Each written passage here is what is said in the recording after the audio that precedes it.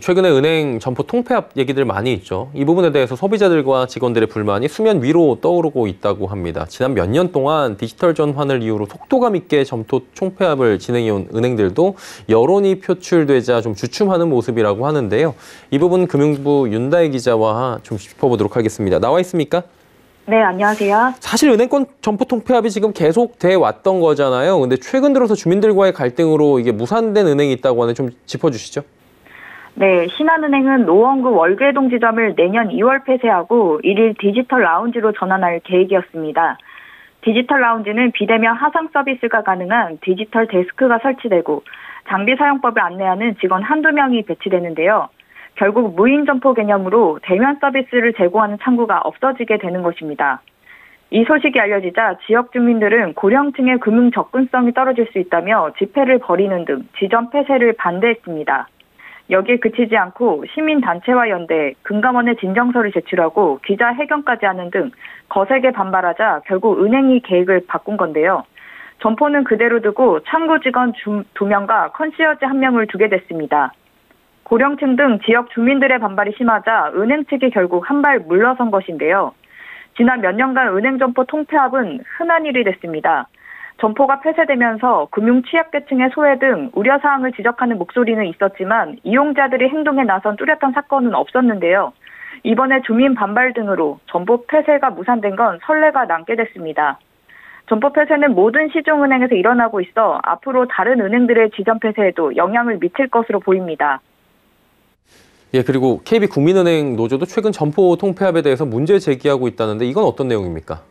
네, 이재근 차기 KB국민은행장 후보가 노조의 강력한 반대에 부딪히고 있는데요. 이유가 이 후보자가 그간 점포 폐쇄에 앞장섰다는, 앞장섰다는 것입니다. 노조 측은 이 후보자가 점포 폐쇄를 서두르는 등 금융 공공성을 훼손하고 있다며 새 후보 추천을 요구하는 상황입니다. 노조는 이틀 전 국민은행 신간 앞에서 집회를 열고 이 후보자의 선임을 반대한다는 입장을 밝히기도 했습니다. 노조는 국민은행의 연평균 폐쇄 점포수가 10개 정도였던 것을 감안할 때 이 부행장에 취임 후 그 속도가 빨라지고 있다며 이 후보자가 부행장으로 취임한 지난해 한 해에만 무려 83개 점포가 문을 닫았고 올해 62개 점포가 추가 폐쇄됐다고 주장했습니다. 또 노조는 무분별한 점포 폐쇄가 이어지면 금융 소외계층이 더 늘고 직원들의 고용에도 심각한 위기가 찾아올 것이라고 지적했습니다. 은행들이 올해에도 점포 폐쇄를 뭐 대거 진행한 것으로 보이고 있잖아요. 현재의 상황은 어떤 겁니까? 네, 은행의 점포 폐쇄는 그동안 디지털 전환과 효율화의 이유로 대거 이뤄져 왔습니다. 코로나19 이후엔 더 가속화되고 있고요. 금융감독원의 국회 정무위 소속 정의당 배진규 의원실 자료에 따르면 올해 10월 말까지 5대 시중은행의 폐쇄한 점포 출장소 포함해서 179곳이 없어졌습니다. 5대 은행이 연말까지 폐쇄를 계획한 지점도 72곳이나 됩니다. 이달부터 내년 1월까지 국민은행은 47개 점포를 추가로 폐쇄할 예정이고 신한은행도 같은 기간 37개 점포를 없애기로 했습니다. 하나은행은 13개 점포를 없애고 우리은행과 농협은 각각 24개, 10개 지점을 폐쇄합니다.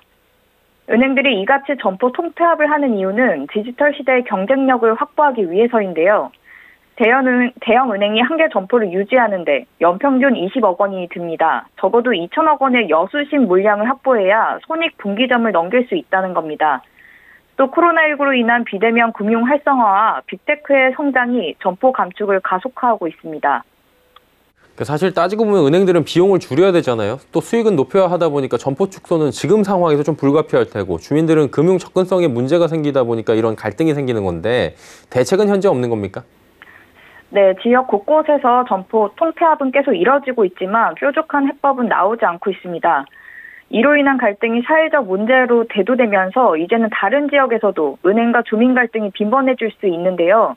이에 주민들은 취약계층의 금융 접근성을 보장할 대안 마련 서둘러 달라고 금융 당국의 목소리를 높이는 상황입니다. 금융 당국도 점포 폐쇄로 인한 문제점을 인식하고 있는 상태입니다. 금융위원회 관계자는 지점 축소는 세계적 흐름이고 은행이 자율로 결정할 사안이지만 고령층의 불편 등을 풀어야 할 숙제라고 하면서 은행 연합회 공동지점 TF의 논의 결과를 지켜보고 있고 다른 대안도 추진하고 있다고 말했습니다. 그러나 대부분 논의 단계이고 그 사이 지점은 빠르게 사라지고 있는 상황입니다. 여러 은행이 한 공간을 활용하는 공동점포 운영이나 출장소 개념을 늘리는 방안도 나오고 있습니다. 전문가 얘기 들어보겠습니다. 공동은행을 만드는 방식일 수가 있습니다. 정리하면서 공동으로 운영하는 방식을 두 번째는 downsize 하는 겁니다.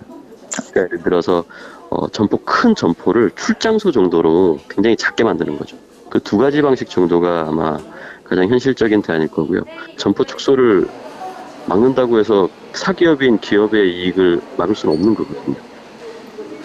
예, 금융당국의 해안이 그 어느 때보다 시급할 것 같습니다. 윤다혜 기자였습니다. 고맙습니다. 네, 감사합니다.